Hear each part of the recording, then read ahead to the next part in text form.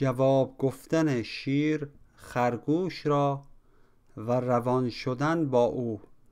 گفت بسم الله بیا تا او کجاست؟ پیش در شو گر همی گویی تو راست. تا سزای او و صد چون او دهم ور دروغ است این سزای تو دهم. اندر آمد چون قلاووزی به پیش تا برد او را به سوی دام خویش سوی چاهی کو نشانش کرده بود. چاه مغ را دام جانش کرده بود.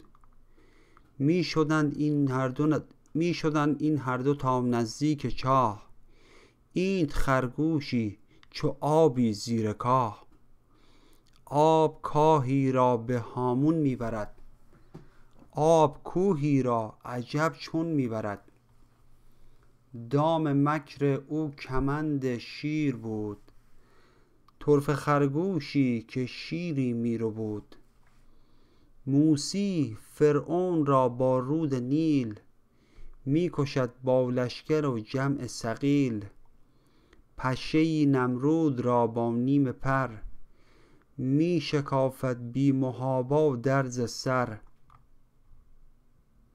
حال آن کو قول دشمن را شنود بین جزای آنکه شد یار حسود. حال فرعونی که هامان را شنود حال نمرودی که شیطان را شنود. دشمن ار چه دوستانه گویدت دام دان گرچه ضدانه گویدت. گر تو را قندی دهد آن زهردان گر به تن لطفی کند آن قهر دان. چون قضا آید نبینی غیر پوست.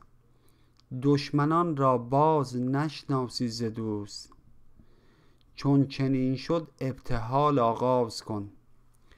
ناله و تسبیح و روزه ساز کن.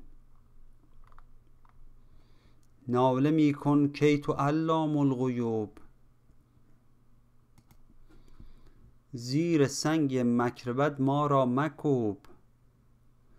گر سگی کردیم ای شیر آفرین. شیر را مگمار بر ما زین کمین.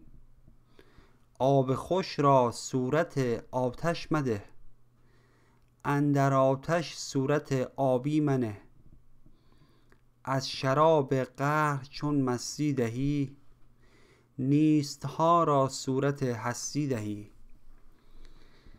چیست مستی بند چشم از دید چشم؟ تا نماید سنگ گوهر پشم یشم. چیست مستی بند چشم از دید چشم؟ تا نماید سنگ گوهر پشم یشم. چیست مستی حسها مبدل شدن؟ چوب گز اندر نظر صندل شدن.